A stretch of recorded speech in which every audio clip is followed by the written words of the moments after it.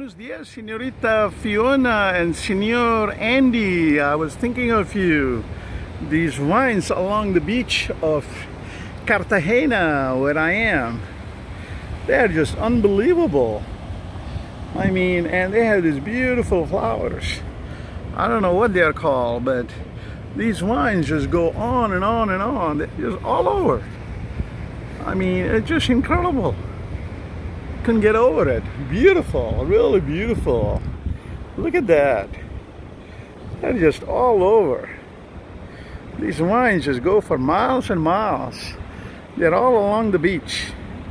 It's very warm here. It's only 7.30 in the morning and it's like uh, 60 degrees warmer than Bogota and my hotel is near one of these tall buildings. It's not a tall building hotel. It's kind of a strange hotel. It's like a boutique hotel.